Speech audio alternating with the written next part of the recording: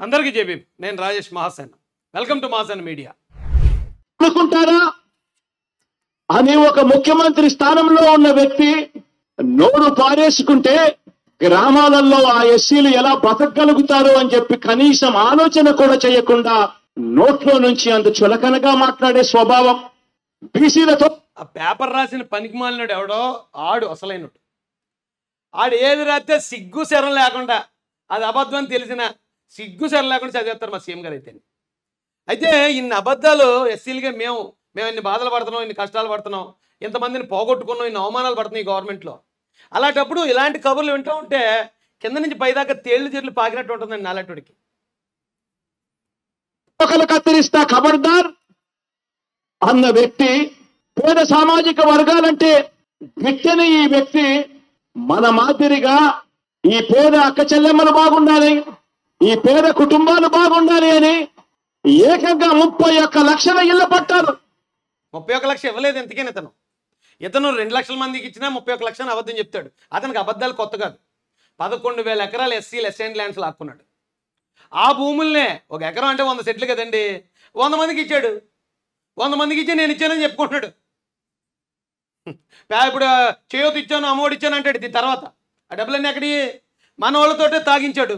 మనోళ్ళతోనే కక్కించాడు. మనోళ్ళని hospital పాలు చేశాడు ప్రాణాలు తీశాడు. ఆ వచ్చిన డబ్బులతో మనకు ముప్పై రూపాయలు రాష్ట్రంలో ఎప్పుడు జరగని విధంగా దేశంలో కూడా ఎప్పుడు చూడని విధంగా ఏకంగా ముప్పై ఒక్క లక్షల ఇళ్ళ పట్టాలు అందులో ఇరవై రెండు లక్షల ఇళ్ళ నిర్మాణం చేయాలని చేయాలనుకున్నాడట. చేయలేదు. చేశాను అంటే చీ అంటారు మళ్ళీ అందరూ అందుకని చేయాలనుకున్నాను. ఏ సినిమాలో ఉంటుందండి డైలాగ్ మా నాన్నగారు కూడా ఆయనకిలాగే డాక్టర్ అవ్వాలనుకున్నాడు అంట. అటా? మీ నాన్నగారు డాక్టరా అండి కాదు. ఆయన కూడా అలాగే అవ్వాలనుకున్నాడు అలాగా చేయాలనుకున్నాడట. చేస్తాడని కంగారు పడ్డారు కనుక.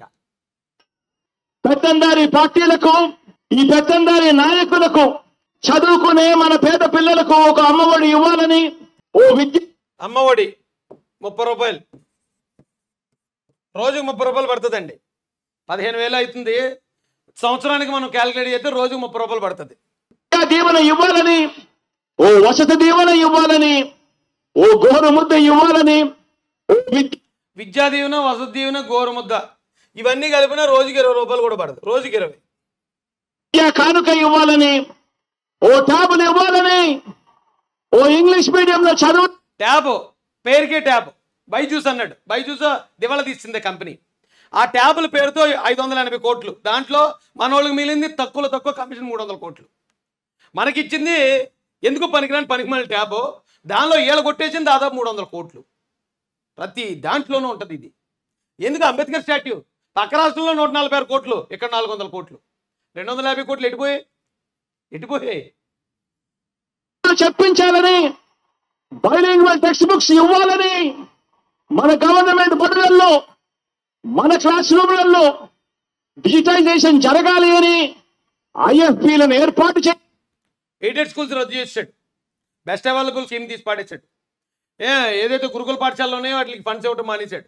ఎలిమెంటరీ స్కూల్ని మొత్తం న్యూ ఎడ్యుకేషన్ పాలసీ అని చెప్పి ఎలిమెంటరీ స్కూల్ మొత్తం కంప్లీట్ బదనాం చేసి ఆ టీచర్లను పట్టుకెళ్ళి హై స్కూల్కి ఇచ్చుకున్నాడు. ఈ పిల్లల్ని మూడో తరగతి పిల్లల్ని కూడా రెండు మూడు కిలోమీటర్లు నడిపిస్తున్నాడు. అలాంటి ఇతను విద్యా విధానాన్ని చాలా అభివృద్ధి చేసాడట చెప్పుకున్నాడు ఈ ఐదు సంవత్సరాల్లో ఒక్క టీచర్ పోస్ట్ వేయలేదు. టీచర్లు కొన్ని వందల వేల మంది రిటైర్ అయిపోయారు. ఆ మొత్తం సబ్జెక్టులన్నీ ఖాళీ అలాగా. రెండు ఇద్దరు ముగ్గురు టీచర్లతో హై స్కూల్ నడుతున్నాయి ఇక్కడ. ఒక్క టీచర్ పోస్ట్ వేయలేదు. అలాంటి ఇతను విద్యా విధానంలో గొప్ప మార్పులు తీసుకొచ్చాడట. చెప్పడానికి అతను సిగ్గుపడ్డండి. కానీ వినడానికి వినేవాళ్ళం. మనకి కించిత్ సిగ్గుండాలి కదా. మనకి కించిత్ ఆలోచన ఉండాలి కదా. ఇప్పటికీ వైసీపీ వాళ్ళు ఇంకా ఎవడన్నో పది మంది పరక మంది ఎవడన్నా సపోర్ట్ చేస్తుంటే వాళ్ళకే చెప్తున్నాను ఇది. మిగతా వాళ్ళందరూ వైసీపీ నిజ స్వరూపం తెలుసుకున్న వాళ్ళందరికీ హ్యాట్స్ ఆఫ్ తెలియజేస్తున్నాను అలాంటి వాళ్ళకి ఇంకా అలా గొర్రెలా ఉండిపోయారు కదండి. వాళ్ళకి దయచేసి ఈ వీడియో షేర్ చేయండి. నాడు నేడుతో మన చదువును మన బడులు రూపురే బడులు కేవలం ఆ painting contract cement contract granite contract జగన్ది. ఆ జగన్కి ఆ కాంట్రాక్ట్లు ఉన్నాయి కాబట్టి కేవలం ఆ బళ్ళకి ఆ కాంట్రాక్ట్లు ఇచ్చుకున్నట్టు ఇతను మెటీరియల్ సప్లై కాంట్రాక్ట్లో డబ్బులు అవి నొక్కేయడానికి తప్ప నాడు నేడులో పదివేల కోట్లు. పదివేల కోట్లు ఖర్చు పెడితే ఈ విద్యా వ్యవస్థ మీద ఎందుకండి? నూటికి డెబ్బై మందే పాస్ అయ్యారు టెన్త్ క్లాస్ వాళ్ళు? జగన్ రెడ్డి హయాంలో నూటికి డెబ్బై మంది పాస్ అయ్యారు అంతే. ఫస్ట్ రెండు సంవత్సరాలు ఒకవేళ కోవిడ్ పోయింది అనుకుందాం. తర్వాత వచ్చిన టెన్త్ క్లాస్ ఎగ్జామ్స్లో నూటికి డెబ్బై మందే పాస్ అయ్యారు. పదివేల కోట్లు ఖర్చు పెట్టిన. కానీ చంద్రబాబు నాయుడు గారి హయాంలో వాళ్ళకి ఎంత ఫండ్స్ ఇవ్వాలో అంతే ఇచ్చాడు. కానీ ప్రతి సంవత్సరం నూటికి తొంభై నాలుగు పర్సెంటేజ్ వ్యాపారం చేసుకుంటున్నాడు ఇతను. ఇచ్చేది మనకి ఇస్తున్నాడు బిల్డప్ వెనక నుంచి దొడ్డుకోమని నొక్కేసేది వీళ్ళు లేకపోతే ఎవడైనా చదువుకు కావాల్సిన ముఖ్యమైన ఇదేంటండి? ఏది సున్నాలా? గ్రానైట్లా? లేకపోతే ప్రహరీ గోళ్ళ? టీచర్లా?